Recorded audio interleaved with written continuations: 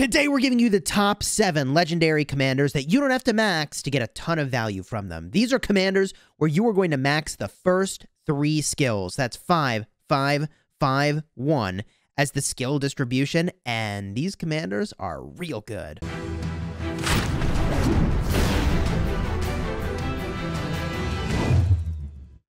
Hello, my friends, and welcome back. I'm Chisgule Gaming, and today we're talking about commanders where you don't have to spend all 700 sculptures to unlock the expertise skill to get the majority of the value. So the commanders we're going to be recommending to you in this video are going to take 390 sculptures to get to that 5551 state, and commanders that are good as a non-maxed legendary typically have an expertise skill that is not as good or has a minimal boost to their effectiveness or relevance on the battlefield. So to just give a quick example of a commander where that's the case, Guan Yu, like his expertise skill is fine, but he's not that much more combat effective with the expertise skill compared to when he doesn't have it. It's fine, it's great, but it's not life-changing. Another example of a legendary where the expertise skill, like it's it's fine, but it's not going to be completely life-changing would be to look at like Leonidas, right? Most of the time you're not going to get below 10% to even trigger this expertise skill in the first place.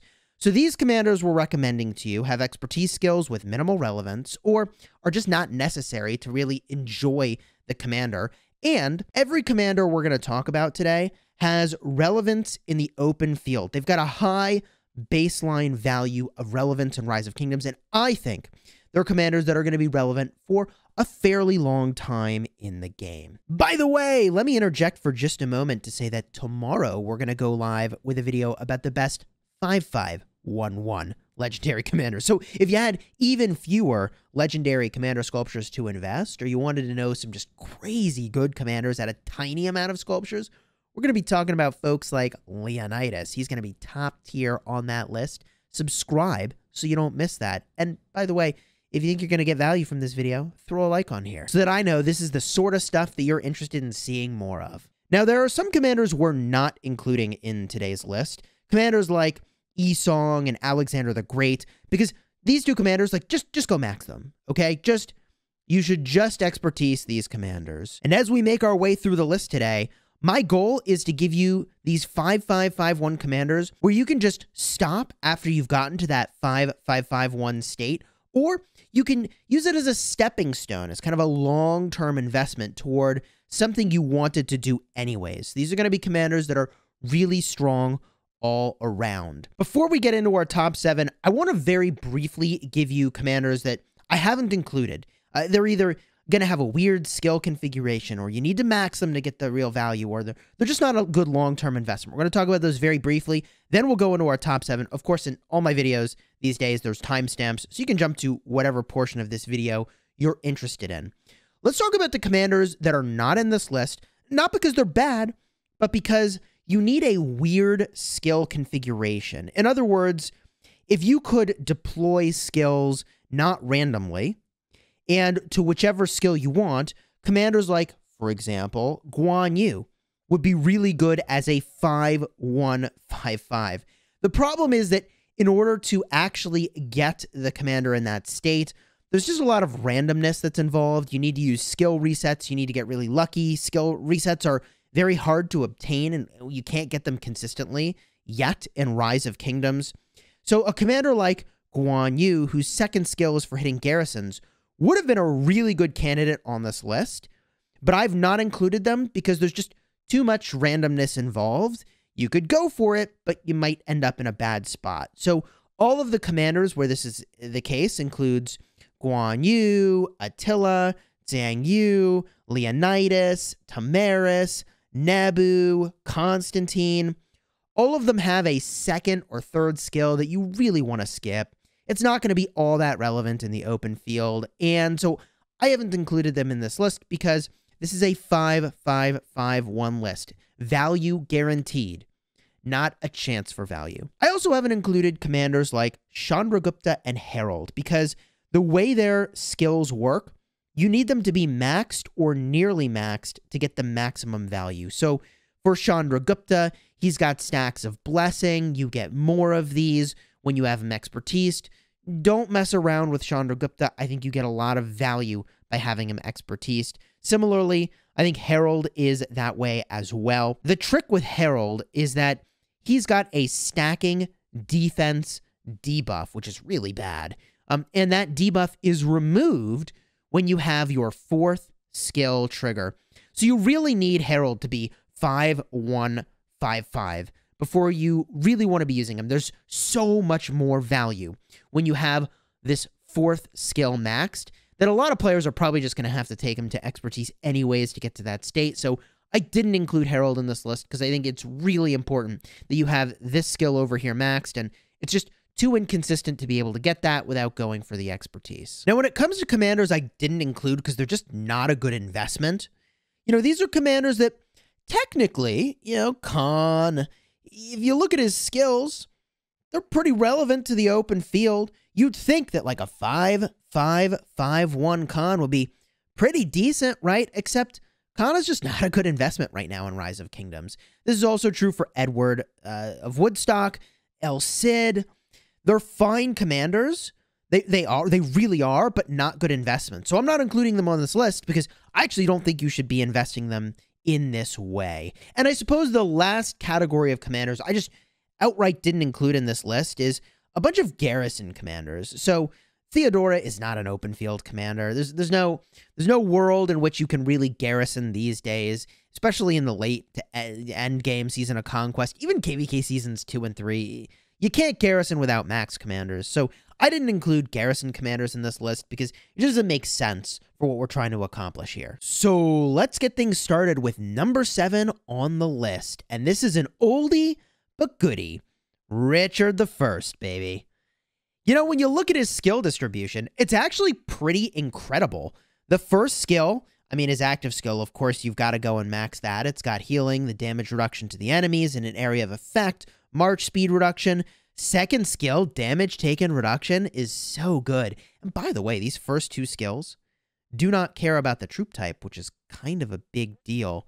The third skill is giving you a cool 30% of stats, and I get that in the Season of Conquest days, some of the commanders there are going to give even more stats, but these first three skills are all really, really, really good. The fourth skill on Richard the First yeah, it improves his healing effectiveness, but it's honestly going from 10% to 30% more healing boost. Not a big deal. Truly, not a big deal for the 310 sculptures it takes to max the final skill on a commander. Also, the expertise skill, it's good. 5% less damage taken, it's definitely good. Don't get me wrong. And all infantry units led by this commander deal 2% increased damage to cavalry. I mean, whatever. The slow is actually some really cool utility every 10 seconds. You can slow a target by 50% for 5 seconds. It's actually a pretty cool expertise. Don't get me wrong.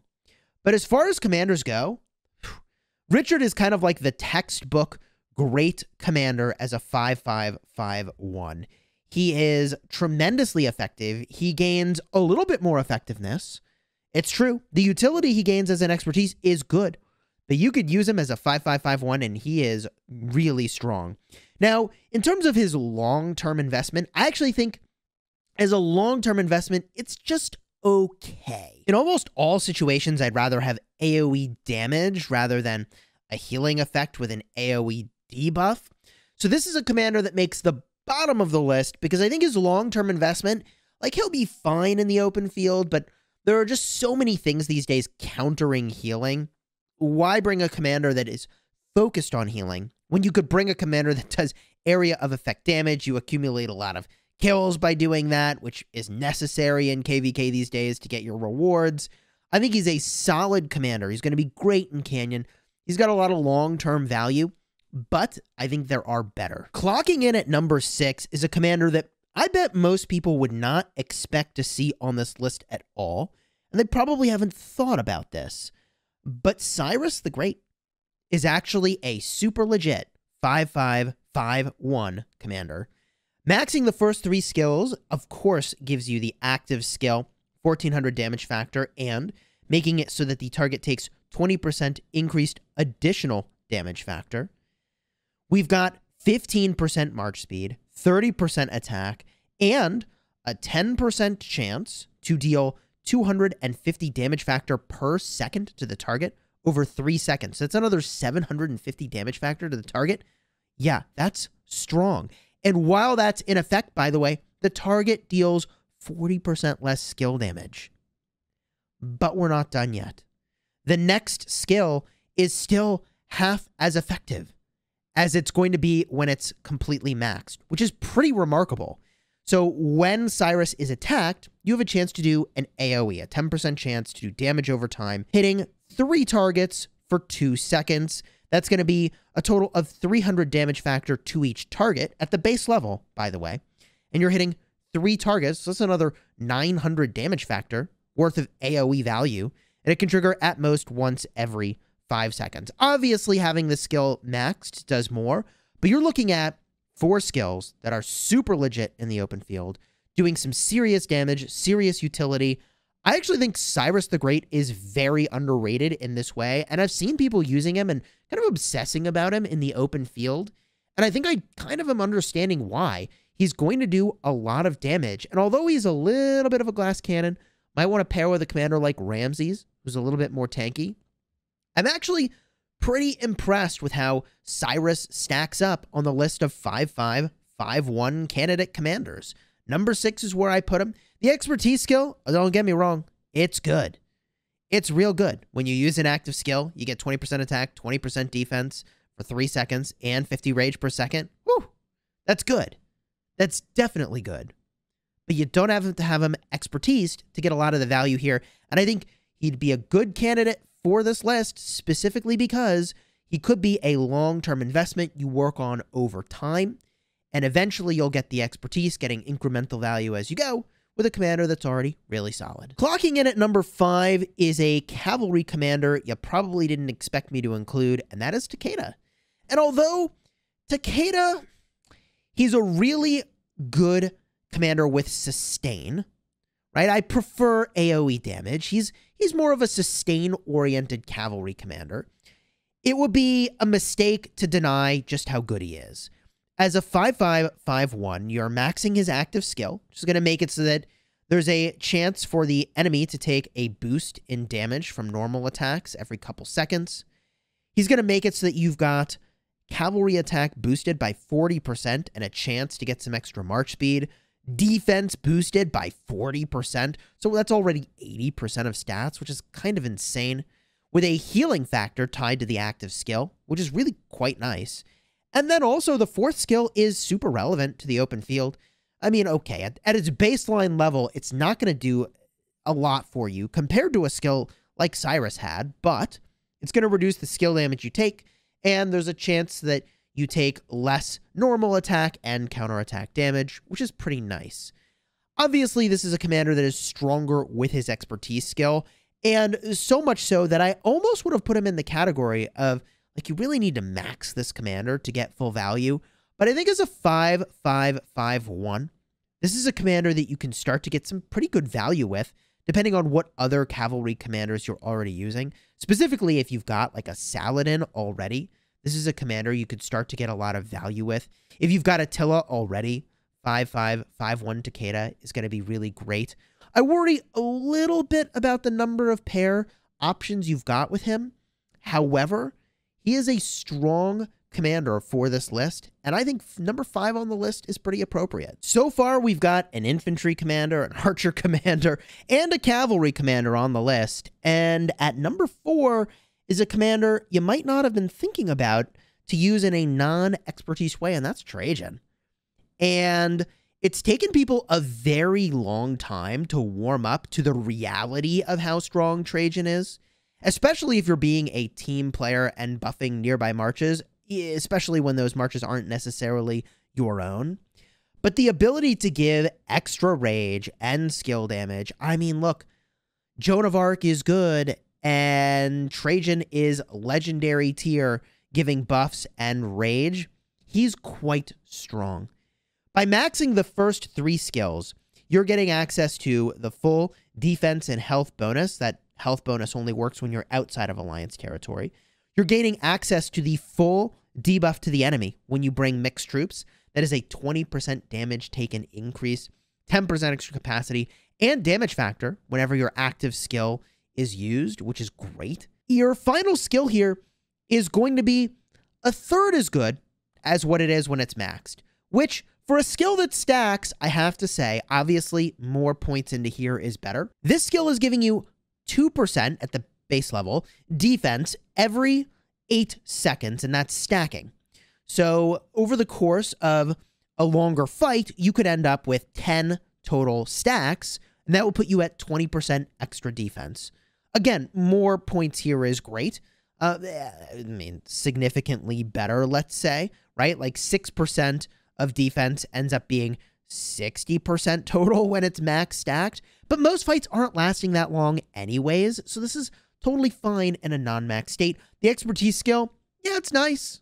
It's giving you more rage boost. It's giving you more skill damage boost. It's making it so that you have a little bit more damage factor. But if you've got Trajan as a 5-5, 5-1, you could start using him. You could use Ethelfled as the secondary. It's a great place to put your Ethelfled. I use Trajan Ethelfled. I maxed Trajan specifically because I thought the Trajan Ethel combo was so good. And I think this is a great stepping stone toward that longer term investment. Trajan's a commander I think you would want to go all the way to max at some point. But if you get him to even like 5511, you could start to use them and you get more skills to them. You get 5 5, 5 1, and you are good to go. Hunt for the expertise skill over time, but start using him and getting value. Number three on our list is also kind of an oldie but goodie. That is Ramses. Ramses has been out for a very long time. He gets much stronger with his expertise skill, make no mistake about it. But the first three skills are so good that, yeah, you can use them not maxed and still get a ton of value. What are we looking at with Ramses? A cool 800 damage factor per second for two seconds. That's 1,600 damage factor and a 25% defense reduction over those two seconds as well, which is quite nice. Now, when he's expertise, you get a healing immunity effect debuff applied and more damage factor, a lot of damage factor actually. You jump up to a thousand damage factor per second. But even without that expertise skill, on the second skill, you've got 40% attack. That's nice. You've got 30% skill damage taken reduction with, by the way, the 10% chance to gain 40% attack and 40% march speed for three seconds when you're being attacked. So we're talking in just those two skills about the possibility of 80% of stats and 30% skill damage reduction and 40% march speed uh, when you're being attacked. Again, you got to be being hit there to have that stuff trigger, but this commander is great, even not maxed. And the final skill, yes, it gets much better when it's maxed. 500 healing factor and 40% defense for three seconds. Obviously, that's that's better than the non-maxed version, but it's still 200 healing factor and 20% defense when he's not maxed. As a 5-5, 5-1 legendary, Ramses is scary good. You definitely could use him and pair with a commander like Yi-Song and be in really great shape. He's number three on the list, and he's definitely top tier and a great long-term investment that you can work toward that expertise over time. Now we're getting to the final commanders on the list, and at number two, they've really earned their spot. That is William. William does some really crazy stuff. He's a very offensive commander. He doesn't really offer a ton of tankiness, although we'll talk about that in just a second. His active skill is very strong. It does do area of effect damage, although it's kind of hard to hit multiple targets. In big brawls, don't worry about that. You'll definitely be hitting multiple targets. And he's also going to reduce their march speed and make it so that extra skill damage buffs cannot take effect. That's Yi-Song's fourth skill. That's Heck, skill damage city skins, like all buffs that give you skill damage, cannot take effect during William's active skill when that debuff is applied. So that's pretty strong, but there's more. The second skill is going to make it so you have 20% cav attack, 15% march speed, and when you're off your alliance's territory, 10% increased damage. That's a big deal. The third skill is really good for swarming targets. This is actually boosted by the expertise skill, okay? And it's going to make it so that all of your cavalry have a 20% attack boost, and you have a 10% chance to deal 800 damage factors to the target, and if the target is surrounded, they take extra damage based on the number of troops that are surrounding if you had five troops surrounding the target. Okay, that is a cool 400 extra damage factor. Whew. So that's 1,200 damage factor in total for a maximum swarm target.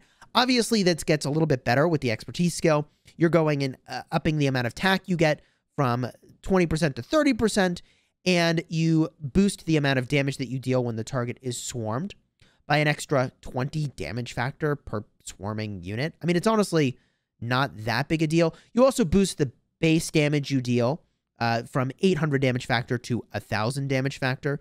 So you're looking at 1500 damage factor and 30% attack in a best case scenario compared to the 1200 damage factor and 20% attack in the base version. I mean, the expertise skill is good, it's just not insane.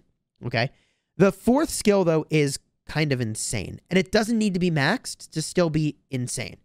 When your active skill, which because of its weird shape, it's a rectangle, is harder to hit multiple targets, but when you do, you are going to give your march and nearby marches a total of five marches, including uh, his own march, the defense boost of 10%, and 50 rage per second for three seconds. And it's that rage per second I'm most excited about. Yeah, when you max this, obviously the extra 10% defense that you're giving over here is really nice. It's 20% defense boost at max. But this skill is so good that as a 5-5-5-1, it will be a mistake not to use William. He's phenomenal. 10 out of 10, can recommend, very strong. The only problem is that he's really not a good primary commander. Trust me, I took him to 60, I tested this out. He really needs to be a secondary commander to some other cavalry commander, which is a segue to the number one cavalry commander in our list, and that is Saladin, baby. Another oldie but goodie. Saladin is one of the first cavalry commanders you'll get access to in Rise of Kingdoms as they start to expand the list of commanders that you have access to, and he is really good. The first three skills are all oriented toward the open field, and the final fourth skill here is for hitting cities. So, for that reason, you don't need to have any points at all in this fourth skill. This is one of the few commanders that's on this list that you could just take to 5 5, 5 1 and stop and that would be a very eh, reasonable choice. The expertise skill obviously adds value. It enhances the active skill. It's going to give you 300 more damage factor. It's going to make it so the march speed reduction effect and the healing reduction effect is boosted. But many players will take Saladin to 5-5, 5-1, and stop. Now, the other reason that Saladin is really good on this list is that he's got the support tree, and that is so good for a primary commander. That is giving you a rage engine from Rejuvenate that is shockingly good. It is giving you access to skill damage taken reduction that is shockingly good. Saladin is a top tier primary commander for cavalry. You can do Saladin William. You can do Saladin Takeda. You can do Saladin. I mean, not that I would recommend Khan, but like Khan or all these other commanders that are more glass cannon. You can put them as a secondary to Saladin, and he's going to give them a lot of protection. The second skill is giving you 20% defense on the topic of that protection, also 20% attack and 5% march speed. That's 40% of stats with some march speed. That's nice. The next, man, this third skill, 30% skill damage taken reduction and 20% counterattack damage taken reduction. Saladin is really strong. And with the addition of commanders like William into the game, he has seen renewed relevance. For a time, he really wasn't all that relevant because it's kind of like, well, what what commander are you going to pair him with? But the Saladin William combo brings it back, baby. And for 390 sculptures to take Saladin to 5 5, 5 1, and 390 sculptures to take William to 5 5, 5 1, you could pair those two together. And for the price that is only slightly higher than having one max commander, I think this is a great march to bring to the battlefield. If you're trying to bring more marches or you're in the early game and you're just getting started and you want to have more stuff you can use, or even if you're just working towards one of your second or first really strong marches, the Saladin William combo is totally the jam. If you found this video helpful, throw a like on here and consider subscribing.